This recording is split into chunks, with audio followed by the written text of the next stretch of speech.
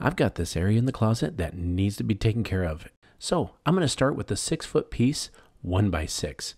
I'm going to use this and split it right in half. So if it's six foot long, let's cut it off at the three foot mark. When I do that, I also want to make and use my square to get a nice perfect straight line across the board. That'll give me a good reference for when I cut it. Now, I like to use my miter saw. You can use a jigsaw or a skill saw. Either way will work as long as you get a good cut. Let me teach you a secret about sanding. Take a pencil and without making too hard of a mark, put squiggly lines all across your board. That is going to let you know that you've sanded the board enough in order to stain it.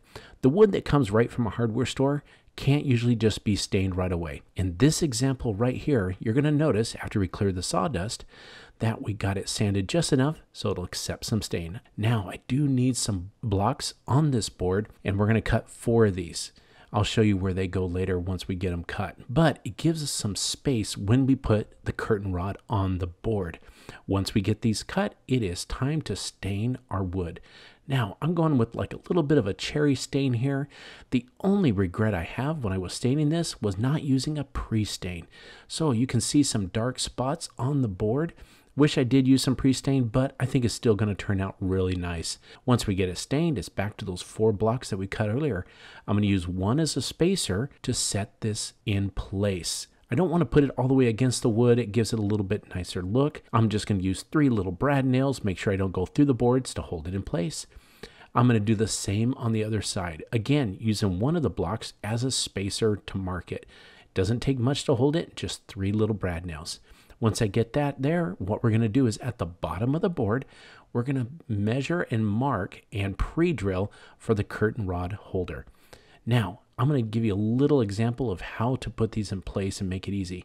When you're putting the first screw in, never put it all the way through. Go ahead and put it halfway so that your bracket is not too hard to move around if you need to. The second screw, put it all the way down, and then go back to the first one and put it down. Now, we can set the curtain rod in there, and it's time to mark and measure it. I'm going to use a metal saw blade. Now, go light and easy on this. Don't go back and forth. Just make a little mark, couple times back and forth before you go, cut it off. Now, it's going to be a little rough, but don't worry about that. These curtain rods come with little caps you put on the end. We're going to put our final pre-drill in to go ahead and put it on the wall. As you can see, I've got two of these boards and I'm using a level to make sure they're straight. Once I got them installed, put the curtain rods in and start inserting the shoes. It's going to save a lot of space on the floor and it looks great right in the back. You can make these as big and as long as you want. I hope this inspired you to build your own DIY shoe rack. I hope you enjoyed that last episode, but don't hit the stop button yet. First, subscribe so you don't miss any future episodes, and stay tuned. We got another one coming right up. Do you have a bed with no frame? Do you need more storage space in your bedroom? Well, let's make a platform bed with storage. Let's start with the storage part of this project. I purchased a three cube storage unit and put it together in 10 minutes.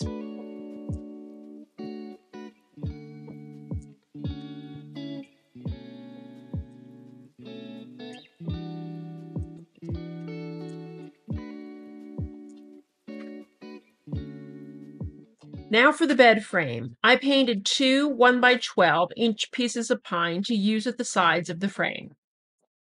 I needed something to elevate the mattress, so using 2 by 4s I cut to size and used a Kreg jig to make two U legs.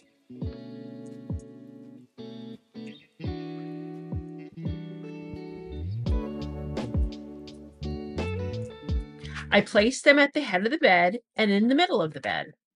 I laid a piece of 3 quarter inch plywood on top of the U legs and screwed them into the plywood. I placed a storage unit at the foot of the bed and screwed that into the plywood.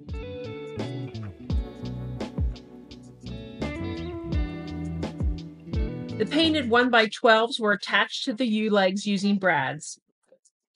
I then laid a 1x2 beside the plywood on the top and overhung the 1x12s and nailed them in place. Then I laid a 1x6 on top to hide the seam and nailed that in place. After the entire bed was done, I painted everything white. At the foot of the bed, the storage unit wasn't as wide as the actual bed, and there were gaps on either side. So to close those gaps, I used two one by twos as a frame. And then I nailed another one by two along the side and a one by 12 to cover the gap.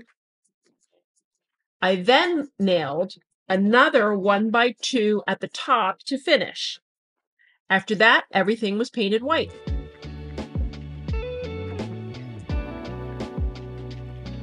Now that the bed frame was complete, it was time to make the headboard. I had a piece of half inch plywood cut to size. I measured and cut one by four inch pine to frame the plywood. I just nailed those in place. I added one by two inch pine to each side and then a one by four inch piece of pine at the top. The headboard was then painted white.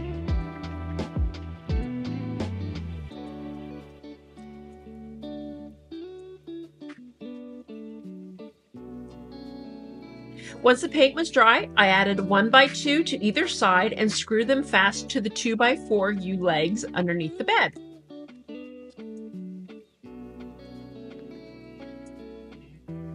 Although this project has a lot of pieces, it was so easy to make. I hope this inspires you to elevate your bed to the next level. 40 years ago, my grandma painted this wonderful painting, and I wanted to last forever and make it a keepsake. Now we're going to start on one corner of the painting and we're going to go to all four corners. We've got to measure so we can build our frame around the back. On the top, it's 19 inches, and what we're going to need is two pieces.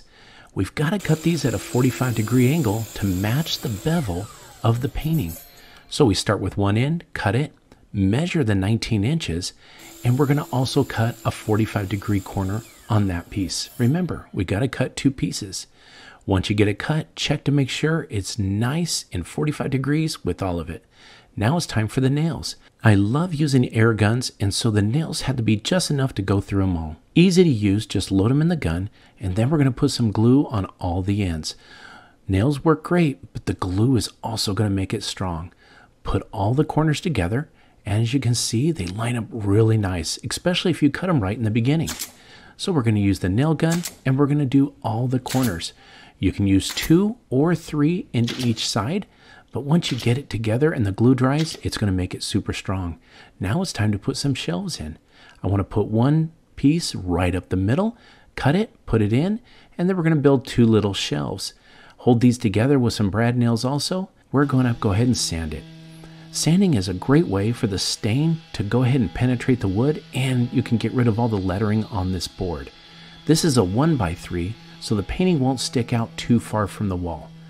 Once you get it sanded up, it's time to stain.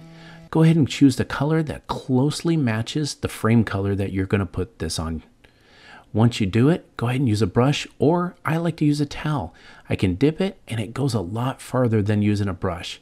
Also, if it gets too thick or too thin, I can just wipe on more or less. If you have any excess stain, make sure you wipe it off. Now it's time to get some hinges. I wanted to use some decorative hinges and what I'm going to do on the frame is mark it and drill it out. It takes the screws better and I won't worry about splitting the wood. When we put them on, if you pre-drill and you do it with the right size drill bit, you don't have to use the drill to put the screws on. You can just use a screwdriver. Now once it's on the frame, go ahead and drop it on the frame right there. And we're going to go ahead and do the same thing and drill it out. Put the screws in. Once you get them nice and tight, it's time to put that hanger back on. Just go ahead and nail those little nails right in, and then we can hang it on the wall. Once it's hung up, now we've got the shelves in, and it makes a great location for all your keepsakes, especially for me, anything that has to do with my grandmother. This thing will make a wonderful keepsake, and it's something that I can pass down from generation to generation. I can't wait to give it to one of my daughters someday. And the great thing, it's a great showpiece. From the front, it looks absolutely great, and on the side, it doesn't stick too far from the wall. I hope you enjoyed this DIY project as much as I did making it. Thank you for watching Hometalk, and we'll see you next time.